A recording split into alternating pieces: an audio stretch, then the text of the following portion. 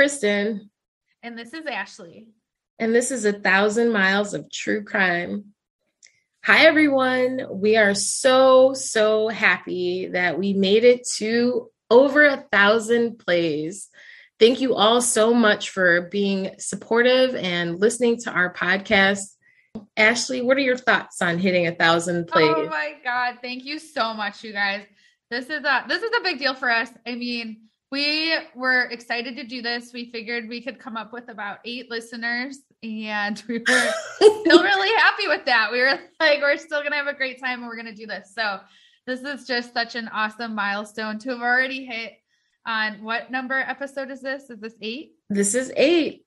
It, yeah, we hit it actually before seven. We hit it before the Dyatlov episode even came out. So thank you so much, you guys. We just appreciate it um, and all the support we've gotten. We hope you guys are enjoying the show.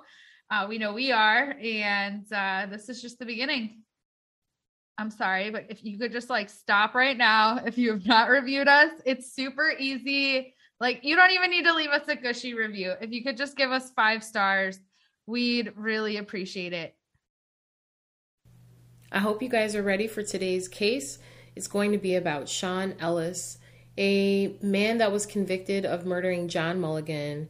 And after serving 22 years in prison for this murder, it turns out he didn't actually kill John Mulligan. This case, I do want to say, made me think so much about how quickly someone's life can change because their one chance encounter with police. It made me think of how messed up our judicial system is um, even when they know they have it wrong. It just is like, well, let's fix that. Let's change that. Let's make that wrong right. Um, and it further infuriates me on the length of time it takes for wrongs to be made right. Sean's case is one of many where there is someone in prison at this very moment for a crime that they did not commit. I'm going to start by talking about Sean's youth um, he was just a kid who grew up in the housing projects in the Roslindale area of Boston, Massachusetts, uh, raised by a single mom and, you know, took care of his siblings. When Sean was eight, his brother passed away. His brother was 13 years old and he drowned in kind of like a freak accident. He drowned at 13 because he didn't know how to swim and I mean, around. I don't know how a 13 year old jumps in a pool when they know that they don't know how to swim. It does happen though, that like people think they can swim, or you know what I mean? You think you have a better grasp on what's going on than you do. My friend almost drowned me, actually. Did I say that right? Drowned me. But uh we were at so my like at the end of the year for softball, they would throw like a pizza party at our swimming pool, like memorial pool. And we were there and I talked to my friend and I was like, oh, you should go down the slide. And she she could swim, but she wasn't like the best swimmer. I think we were like eight and nine or something, probably a little older than that. And um, I was like, just do it. It's a lot of fun. I- I'll jump in if you're, you know, having any issues. There's lifeguards on duty. I don't know why this was the plan. And so yeah, my girl's like kind of flailing in there, and I'm like, oh my god! And I jump in, and this is a pool full of kids, like because you could bring your families and all this stuff. And um, so, so yeah, my dumbass jumps in and tries to save her, and she almost drowned me. And the um, the because she's like, you know, you're just trying to survive. So she's doing like everything she can to get above water, and I'm like, like I can't breathe. So the lifeguard jumps in and saves both of us and then yells at us a lot. And he's like, why? Like, he didn't yell at her at all, obviously, but he yelled at me, like, why would you try to jump in? And, I mean, think about being a lifeguard and seeing a pool filled with kids. That's probably even harder than a like an open pool and someone drowning because it's more easily visible to see, okay, they're struggling. Let me jump in and save them. But a crowded pool, I can't imagine what it's like to be a lifeguard. Like the the stress level would be up to here. Sure. So his brother died when he was 13. So that had to have created a major change in Sean's life, losing his brother. And it's at this point that his mom, who's raising him and the rest of his siblings, becomes addicted to crack cocaine. In like coping with the death of her son. He is now basically left to deal with the death of his older brother, his mom being addicted to a, a chemical substance, and you know he's now the kind of the man of the house. He's responsible for looking after his siblings and kind of taking care of them because his mom is you know she has an addiction problem. So his mother's addiction issues didn't just cause distress like there with raising the kids but there were other tensions during his childhood. The men that she would like bring around they weren't the most you know the best uh impressionable men to have around your children um, so there was a lot of disdain there that Sean had towards his mom, obviously, um, and how she was coping with the death of his brother. He life still carried on. So he goes through his childhood, like this this tension that he has towards his mom um, because of her addiction and just how she's behaving, how she's coping, had to like have take a toll on him. But through all that, he still manages to make it through um, graduate from high school, even considering, you know, coming from the projects. I think that's, I'm sorry, let's just take a moment. That's very impressive. Like, that's very hard for your family to go through. To like, lose a son is, or you lose a child in general is just horrible. And then just having like an addicted mother is, that makes your entire life challenging. So I'm just very, I'm proud of him. That's an awesome accomplishment. It totally is. He, overcame a lot, I would have to say, by making it to that milestone. But unfortunately, after high school, you know, he really struggled to find work. He's he's in the projects and you know, he's trying to pull himself out of that, but he finds himself around the wrong crowd. He's got kind of like a posse. They're they're not necessarily a true gang, but you know, he he bands together with this group of other guys and they just pretty much kind of cover each other's back. So like where they're living is what kind of exposed him to this other life. He was then kind of introduced to selling drugs to make a living because he couldn't find work any other way. Well, any but, kind of work he would have found was not going to pay what he'd be able to make dealing drugs, most likely. Right. I mean, but he was making the effort still. Like he didn't want to just be a drug dealer. He, you know, he wanted to to be something. I mean, it was just hard for him. He had a speech impediment, uh, a really heavy stutter, and he was black. And and I'm sure he's having to help take care of his family. It's not like all the money he makes, he can go out and buy shoes or what. You know what I mean? That's not the situation, most likely. So and it's you know it's it's exactly what you said. It's that too you know he's looking after his siblings because his mom at that point is really heavy and deep into her addiction. So not only is he trying to make a living the best the best way that he knows how but he's also still got to look after home because mom's not really actively around. He never really got into any like major trouble the only trouble that he ever really had been in was um, because of an incident where his younger sister was at home with him and his mom and her boyfriend kind of got into like this argument or altercation. And so he took her out of the house and like just took her like for a walk around the block to just not be present for whatever was going on at home. And his mom you know she was just messed up and she called the police on him and he was actually arrested for kidnapping.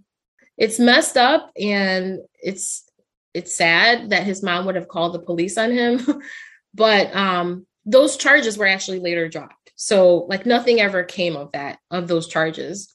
And then the few other instances were just like from uh, you know common altercations with his mom or you know one of his mom's boyfriends that she had in her life at that time so now it's at this point in his life. He's 19 years old.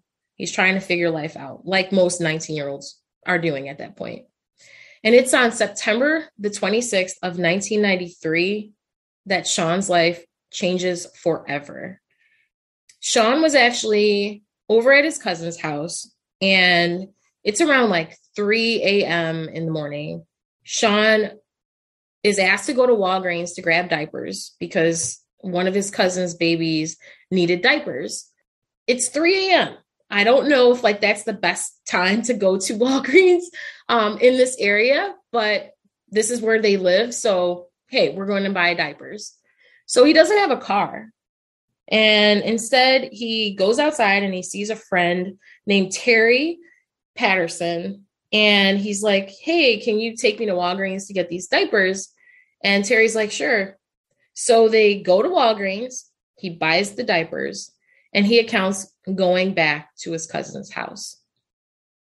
It's at this same time that Sean is at the Walgreens that a murder takes place, but not just any murder. This is the murder of a Boston police detective. His name is John Mulligan. And John was at Walgreens. He was actually doing a security detail shift at this very time. So when I think of someone doing a security detail, I think, you know, they're going to be looking around, watching, seeing, you know, what type of people are around the Walgreens, making sure there's no one stealing, making sure there's no suspicious activity. But John Mulligan was actually sleeping in his car with the window partially cracked. And someone walks up to the car and murders him execution style by shooting him five times in the face. So I say walked up to the car, but we don't really know if that is true. There was no cameras even in this area. There were cameras, but this is 1993, so I don't know I don't know the details behind that, but as I get deeper into this, it really that the whole camera thing really makes me wonder that's um, so personal. Five shots. Five shots. That's that's intent. Someone was intent on this guy being dead. It was intentional. So also the the person that murdered John also took his gun. So I'm just going to say this because this is really being at the wrong place at the wrong time. That's a real thing. So, do you how do you feel about police corruption? Do you think it's a thing or like what are your thoughts on police corruption? Um yeah, I mean I I've personally seen some things like I definitely think that yeah, I think we need to look at the Yeah, so police corruption, I believe I agree is a real thing. Um I'm not saying all police are bad. I'm not saying I'm anti-police. Um what I am saying though is that, you know, it's at this point, the Boston PD is under scrutiny for their lack of proper investigation and they're notorious and known for falsifying warrants. They're known for paying off drug dealers, prostitutes for their silence or for their testimony. Like, I, I just think about how crazy situations get when a police officer is murdered and considering that John Mulligan was murdered execution style, the detectives in Boston were all over this. I will add that John Mulligan did not have the best track record of being an honest police officer. He had a reputation of robbing drug dealers, prostitutes, um, or he would threaten them with, like, I'm going to arrest you or I'm going to pin this on you. And he would just be like blatant about it. Um, he had a high arrest record. They actually called him in plain sight because anytime that he would bring bring someone in or he would have an arrest, like you know, for drugs or whatever, it would be like, oh, the drugs were in plain sight. So he's just like throwing a bag down. Pretty much. And I've I've seen officers do that. So I do know that that's an actual thing. John wasn't alone in his little corrupt behaviors. He also had a group of other Boston police officers in his little tribe. And those officers are Walter Robinson, John Brazil, and Kenneth Acerra. All of these officers were known to like falsify warrants for drug dealers and prostitutes. Um, they would rob them, steal their drugs and their money, not turn it in, keep it for themselves, or put it back on the street. They were known for paying informants off for false testimony, having sex with prostitutes and minors at this time. So all of these officers were, we'll just call them dirty. Having the reputation and like being known on the streets in this area is just you're known for for robbing drug dealers and doing all this stuff these officers probably had a target on their back all of them right? But when i think about corruption and like this little ring that they had i also think about well what else was going on in this ring? Like was there any animosity or was there any you know drama going on inside with these four officers? Did one want to take the other out? Because that's that's corruption for you. You know what I'm saying? Could they have had? Oh, sorry. Go ahead. No, no, no. I was going to ask you. So, because you because you said you'd kind of alluded to, you know, there's a chance that even one of them took one of them out. So, is there a chance like he was skimming off the top, or was, was it something like that? Oh, it's it gets so tangled up, and it it's like so many things were wrong. It it really makes me wonder could those other three officers actually have had something to do with John Mulligan's murder themselves? Or maybe even another cop, you know, because this wasn't a secret.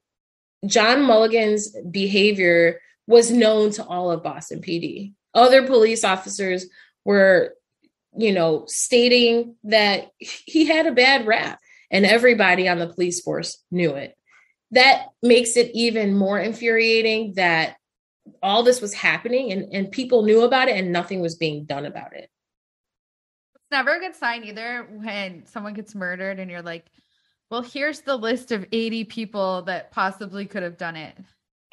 And you would think that that would have been the case, especially in this situation, because I'll say the Boston PD itself, they were already in the doghouse for like improper investigations, but they were stating this list could be very long. You know, he had falsely convicted a bunch of people. So, so I mean, the list they knew the list would have had to have been long, especially because the style in which he was murdered, execution style. Like, it's it's clear someone wanted him dead. They didn't take his wallet; they took his gun. There, there was some anger behind this murder, and it just proves even more so that these officers in the Boston Police Department at this time were totally using their power as a tool to manipulate people. And and that's that's really messed up. So John Mulligan's murdered.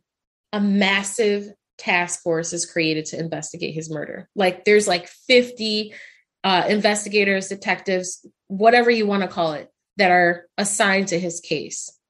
They want to find out who this is. But a number of suspicious things happened when John Mulligan's body was was found and the police arrived and everything after the call was made into the police by the Walgreens employee because that's that's who called it in. They were like the guy's sitting in front of Walgreens, he's slumped over and he has visible gunshot wounds to his head. So the police arrive at the Walgreens and for from my knowledge of like when a murder has happened, John Mulligan's body was transported via ambulance. In the ca- other cases that I've researched, even in, you know, the cases that are like personal to me that I've been there when someone has died, the body should not be transported by an ambulance. It should actually be transported by the coroner. That's one red flag. And that that's protocol. Another, I guess, kind of red flag was when the murder was reported to the public that John Mulligan, you know, was murdered execution style. The police commissioner at the time, he stated this murder was a cold-blooded, premeditated murder based on the nature of how he had been killed. And that, you know, the only thing that was taken from the vehicle was his gun. Already, it's been released to the public. This is premeditated. This is, you know, intent. I remember how I said that his car window was cracked and he was asleep in the car. Yeah. It was not wide enough for someone to, I guess, finagle their arm in through the window. How could someone from outside of the car have gotten the one gotten their hand through the window and positioned it in a way to shoot John Mulligan in the face five times. Like the ballistics and all the, the stuff that they did, they were like, the, the angles are not making sense. Like it's is is it possible that someone was in the car and murdered John Mulligan? Well, it seems like even if you open the door to shoot him, you wouldn't then like go on an angle and try to like shoot him from the front, right? Because is that what you're saying is like the bullets are through the front of his head? Right. It just it wasn't making sense. There were witnesses actually that provided statements saying John was known to see prostitutes when he was doing his security detail at this Walgreens. And there was actually an account and a report of one of John's gals. She called the police and she reported that John gave her a call that night or morning, whatever, and was like, Hey, can you come down to the Walgreens and give me a little love, whatever? And she was like, Hey, I'm tied up, but I'm going to send down one of my girls. And she sends down another girl. Well, that's reported to the police, but that's kind of brushed to the side, right? Well, and that that's like the only thing that would make sense for that angle. Like I was really trying to figure out like why would someone be in the car in, in front of him? Like, and then you're saying that I'm like, oh yeah, no, I can think of a few reasons. Then there's another witness that comes forth, and she says she saw a woman in Mulligan's car around the time of the murder, too. And she said that the woman that was in the car with him was a white female. Okay, so that's one witness, that's two witnesses. Okay, so another witness reports saying that, and this witness is actually a, a, a Boston police officer too. He reports that another officer that's black was upset and bothered by what like Mulligan was doing. Um, that he was just being a shitty cop. Um, and he was especially mad because he was sleeping with these young black girls. And even if they were prostitutes or not, like he was really, really bothered by this. The black officer told this other officer that he was going to shoot Mulligan between the eyes. So he, he stated that specifically. And this officer then went and told, you know, hey, I heard this from this other officer, but I don't know if there's any truth to it if that cop didn't do it and he said that, you know, he was like, oh, I really wish I didn't say that. well, I, I think more than anything, he was probably like, good riddance. Yeah. So, suspects, right? We would think that there is this super long list, right? But there is not. Mulligan's girlfriend was was brought in, you know, as a suspect initially because of the witness that said, Oh, this white woman I saw in the car with him. Um, but she was immediately cleared. So, how did Sean Ellis get wrapped into this mess? Three days after John Mulligan was murdered, two of Sean's cousins were murdered. Okay, the, the cousins that he went to get the diapers for. So, as his cousins' murders were being investigated, you know, police are all over that area. So as they're investigating Sean's cousin's murder and he's on scene, you know, he's trying to see what's going on, like what happened to his cousins. Sean is eventually brought in to be interviewed. And it's in that interview that he places himself at that Walgreens where he was buying diapers at three in the morning. And that just so happened to be around the same time that John Mulligan was murdered. So it was like you're here, you've placed yourself in this crime or in this, you know, vicinity of where this murder happened. So let's see what else we can get from this 19 year old kid. And they were they were hard on him in interviewing him because the other person that he was with, the guy Terry that drove him to the Walgreens, he too was brought in for interview and grilled and you know Terry didn't actually accuse Sean of murdering Mulligan, but the police asked the question Did Sean murder John Mulligan? And Terry is there, his attorney is there, And the police officer claims that Terry nodded his head yes, that Sean murdered John Mulligan. Terry's attorney is physically there. And, she, you know, they're like, no, my client did not nod. My, you know, that did not just happen. We are not about to go down that road. But because that happened, everything just took off from there. So now both of these guys are in the ringer.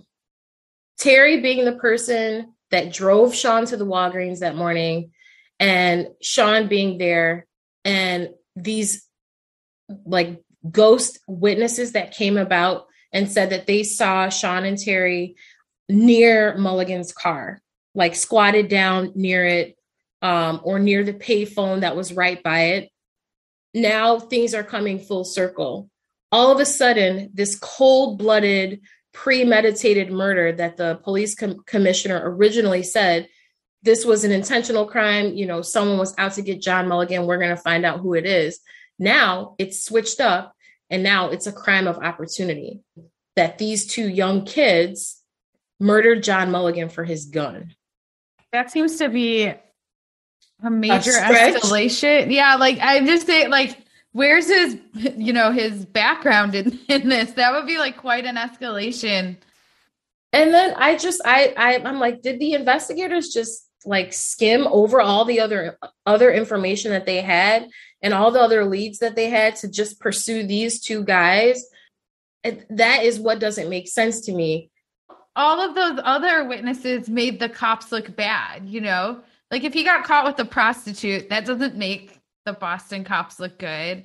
If if another cop shot him, that doesn't make the cops look good. Like it seems like none of these that this story works. Like this this the the media can grab onto.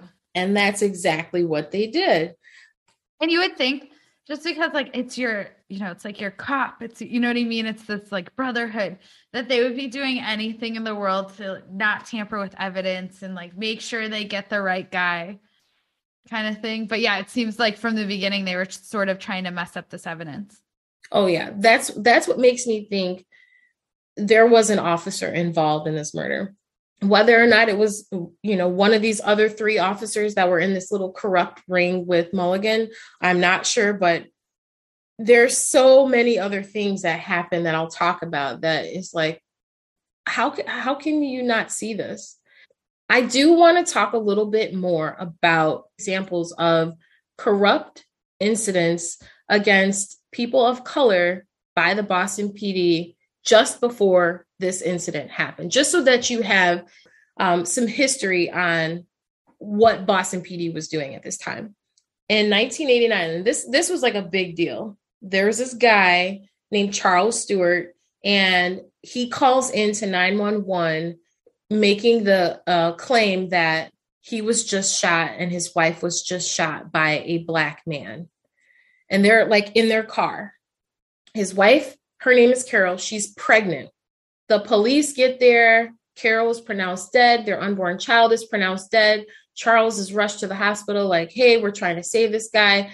The 911 call is like supposedly, you know, that, that was like a, a big deal at the time. Like, oh my gosh, you know, this 911 call is crazy. The dispatcher's trying to keep Charles on the phone, keep him from blacking out or whatever from his gunshot wound. Turns out Charles was trying to l- run a little insurance scam and have his mur- his wife murdered so that he could collect on some insurance money. And so he didn't have to have that baby. I mean, Boston PD, they get the word that a black man has shot these two people.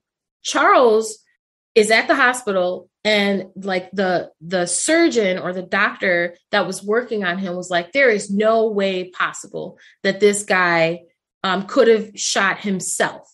Like he's about to die. So they're like, go find this black guy. Go find this black man that shot these two people. Turns out Charles's own brother tricked off on him. Charles's own brother knew about the details that his brother was wanting to kill his wife for insurance money and he had a conscience. He spilled the beans. So before he was able to spill the beans, Boston PD terrorized Black men in Boston. You know, they were looking for anybody to pin this on. And even if it wasn't the right guy, they just were like, we got to nail somebody for this. So it was a big deal and it was really frowned upon. And this made the scrutiny or like, you know, the microscope that Boston PD was under at the time even more prevalent because they're they're out here just terrorizing and being extremely aggressive with these black people all because they're they think that this is these are the people that shot Charles and Carol. And so when Charles's brother comes out and says, "My brother did this," you know, like I can't hold it in. But at that point, Charles is already out of the hospital. He's trying to flee. And once he realizes, hey, I'm not going to be able to get away with this, I'm not going to be able to escape going to prison for murdering my wife for insurance money. So he ends up taking his own life by jumping off of a bridge. I can't believe that just because Charles Stuart said a black man did this, that Boston PD were like, all right, we're not going to investigate any further. We're just going to take what this guy says all because the surgeon or the um, the doctor that was working on him at the hospital was like, yeah, he couldn't have inflicted this wound on himself, but indeed he actually did. You, it really makes you see how easy it is to have to just pin the murder of his wife and his unborn child on a black man, all because um, he knew it would have been an easy sell. He knew he could possibly get away with it. It's sad and it's infuriating all at the same time the police. Well, it sounds like, I mean, the police didn't solve this, right? Like, if his brother didn't turn him in, they'd still be looking for this black guy.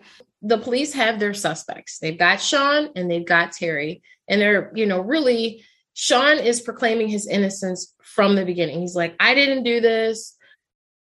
like, I have nothing to do with this. I just so happen to be here. And Terry is is claiming the same thing, but they're already now being tried by the media. They've got Terry, a witness saying that they saw Terry's car driving erratically and suspiciously in the area at the time of the murder.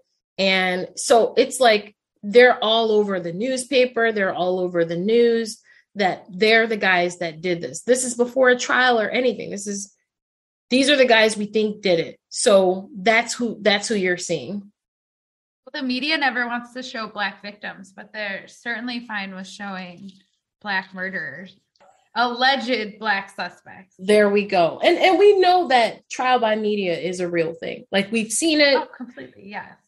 So Terry Patterson, um, he's interrogated by Detective Brazil, uh, one of the dirty cops in this little tribe. And these are not homicide investigators. These are drug, like narc detectives. They're they're not they like why are they even working a homicide case? So being at the wrong place at the wrong time, Brazil fabricating that Terry confirmed Sean pulled the trigger. Um, both Sean and Terry are arrested for John Mulligan's murder. The whole trial by media thing happens. I always ask myself, like, why would Terry have fingered his friend? And then I remember watching some horrifying police interrogations, and I would say fear, being young, coercion, um, not wanting to be convicted himself because I'm sure that they were making threats to him um, or telling him, you know, if you say that Sean did it, you know, we'll give you immunity or we'll take some time off of your sentence or whatever the case may be. But neither one of them are in a good place. So both end up getting sentenced to life. All right. So imagine being 18 and 19 years old and your life flashes before your face. You're about to go to prison for the rest of your natural life. I want to talk about a specific witness in particular that seemed to really help the prosecution's case she was their key witness and seemed to really seal the fate of this case in Sean and Terry being the people that murdered John Mulligan. Her name is Rosa Sanchez. I'd say this was a conflict of interest because Rosa Sanchez is actually affiliated with Acerra, one of the corrupt cops. Okay. And so not like, you know, from a distance, but very close. Rosa Sanchez, her aunt is actually dating Acerra. A Sarah actually pulls Rosa into the investigation. So she didn't call before or anything. You know, he pulls her in and actually brings her down to the precinct and is like, let's let's let's pin this on these two guys. Um, so she's brought in because she says that she saw Sean crouched near Mulligan's truck or Mulligan's car this evening of the murder. They do the lineup, and so they bring in potential suspects. She fingers the wrong guy. Hmm. Not one time, twice. So after this, I guess Sarah's frustrated and is like, yo, come on. Like, all you have to do is pick out this one black person. Like, how hard can that really be? So he takes her down to his car outside of the police station and then says, okay, Rose is ready to go. Pulls her back in. And now she correctly identifies Sean Ellis from the lineup. On her so, third try. Yeah. So that in itself should have, in my opinion, that should have been not allowed at all. Just her direct affiliation with the Sarah, but she was she was the prosecution's prime witness, and that to me that is just mind blowing. Like they knew that, and there were multiple trials that Sean actually went through, and to this day, Rosa still says that if Sarah didn't, you know, um, coerce her into saying that Sean was was present or anything like that. But come on, I mean, let's be real. Knowing how corrupt these officers were and her direct affiliation, I mean, it's it can't get any there's no more red flags needed. The gun that was supposedly stolen from Mulligan's car was found. And this is found near the area of where Sean's cousins were murdered but it you know it was after the fact it was after the fact sean's uncle dave that had just gotten out of prison these police were basically playing on him. They were like hey do you know anything about this murder? You know if you can you know tell us where these guns are. Tell us your nephew's affiliation with this murder. And if and if you don't tell us what we want to hear then we're to pin something on you. We're to throw you back in the slammer. So they're basically in, intimidating his uncle Dave. You know, he's been in prison for 14 years and he doesn't want to go back. His uncle states that he asked Sean, Did you have anything to do with this murder? You know, you can tell me. And Sean was like, No, no, no. And then he tells, he says that Sean tells him that Terry shot him and threw the guns on him and was like, You know, get rid of these for me. You're my friend. Hide these guns for me. The gun that murdered Mulligan and the gun that was stolen from Mulligan. David, his uncle Dave is making these accounts to the police because they're telling him that that's what they want to hear. But later he basically recants that, you know, my nephew had nothing to do with this. That that was like a game changer, basically, in in the trial, the third trial where Sean was actually convicted. Sean is in the fight of his life to get out. He has tried to fight his conviction three times. He has three trials in one year. In 1995, I can't imagine what kind of year that was for him. His first two trials actually ended up in hung juries, and the third is the one where he was actually convicted. So in 1998, a motion for a new trial was requested um, with the details of like all these corrupt officers and corrupt investigators involved in Mulligan's investigation, um, the witnesses being, you know, really shady. And then, too, like the consideration that these cops could have even potentially been involved with the murder themselves. And in 99, because the judge didn't feel the defense did enough to prove that these corrupt cops were dishonest on this case, they were like, you know, your motion is denied. So then another appeal is made in 2000, and that too is also denied. Terry Patterson, the other guy that was convicted, his conviction was overturned because of police perjury. So he's released in like 2006. Apparently, the fingerprints that you know they claimed were on Mulligan's vehicle that were Terry's, it was no longer uh, allowed in evidence. Um, and so after that, like their case basically fell apart against Terry. And instead of them saying, okay, let's review the entire case, they just said, okay, Terry, we're going to give you an out. But before we give you that out, we want you to say that Sean murdered Mulligan. You know, we're giving you a guilty plea for manslaughter, and in return, you'll get time served. So he was basically signing off that Sean pulled the trigger. So it's now like, first, I already got you in this mess by quote unquote nodding uh, when I really didn't nod. And now here I am again pulling the trigger, saying, signing off that you pulled the trigger to get my own self out of jail. And I think desperation will make you do a lot of things. I know jail isn't a pleasant place, even especially when you're innocent. Terry wanted out though. So, like, he signed the statement and he was released in 2006. And now Sean is left all on his own. He's still still proclaiming his innocence, um, doing his best to survive, but he's also taking action to try and get out of the situation that he's in. He decides to reach out to uh, criminal defense attorney Rosemary Scapicchio, and he's like, you know, I know you helped this other guy who was wrongly convicted, and you were able to get him out. You know, I'm hoping you can take a look at my case and and help me get out of the situation that I'm in. Um, and she did. You know, she had her work cut out for her and time really was not on her side it was super political because there were like elected officials that wanted no part of what was going on. They wanted no part of the corruption that john mulligan and the boston police were doing. You know they were trying to kind of get the under wraps. There were cover-ups of you know actual other people making direct statements about being involved in the murder that were never fully investigated. Officers were committing perjury and there were undisclosed witnesses and accounts of other potential suspects that Boston investigators never, you know, looked into. They just said, "Oh, well, we've got our guys, so we're moving on. We're moving past this."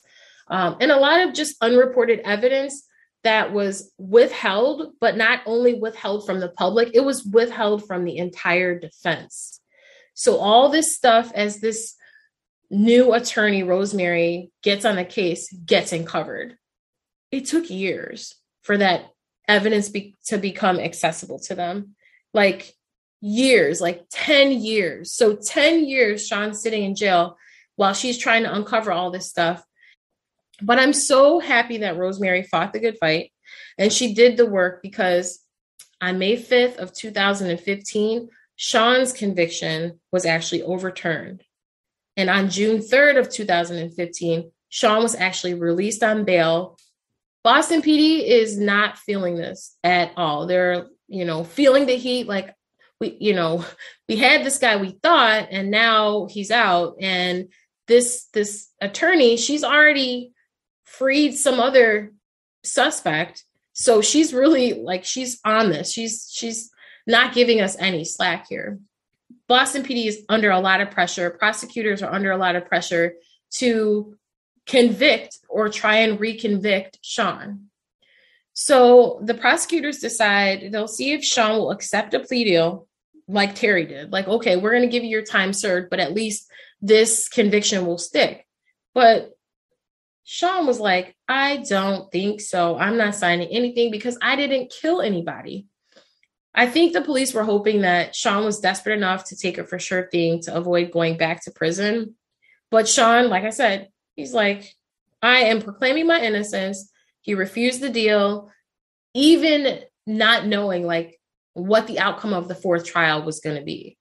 And good thing that he did because on December the 18th of 2018, all charges against Sean are dropped even though in their you know press conference um when they like came out and said you know we're we're going to go ahead and drop the the charges against Sean um, they didn't actually exonerate him. Like they were really crummy with how they came out with it. They were like, you know, you know, we don't have the resources and um like they they couldn't formulate evidence at this point. And so much time had passed. Um, but it was just like, well, just clear my name. Just say, you know, I'm not guilty of this. They, I think the prosecution, um, the DA, they just realized this case was messed up from the beginning um, and that they knew they didn't have a chance at winning the case. So all charges in 2021 were actually dropped because there were still lingering gun charges, but everything was dropped in 2021. Was Mulligan like trying to get out of the trio fiasco or you know like what what was really going on? I would love to know the the nitty gritty behind that. Um, you know, was Mulligan going to trick off on somebody? Um, for I wonder for if he was just getting too wild too. If like they were like, we can't control him, he's gonna get us all busted. Oh yeah, I mean, did he ever get to sue the police department? So that's probably still to come. Um, he probably will have the opportunity to do that. Uh, but I think at this point, he just wants his freedom. He's been behind bars for 22 years. And unfortunately, I don't think we'll ever know the truth of what happened to John Mulligan. Well, it sounds like yeah, they're not reopening the case. No, it's they're it's, making it's a done they deal. Think it's him. Yeah. So if you guys get a chance, check out um, Trial Four on Netflix. Um, there's also um, a whole site dedicated to you know justice for Sean Ellis. There's tons of information out there for it. And that brings it to a close for me tonight. Thank you guys for listening. Yes, thanks everyone. And thank you, Kristin, for going over this case with us. Please continue to support, rate us, give us all five stars, and keep listening, guys. We appreciate you.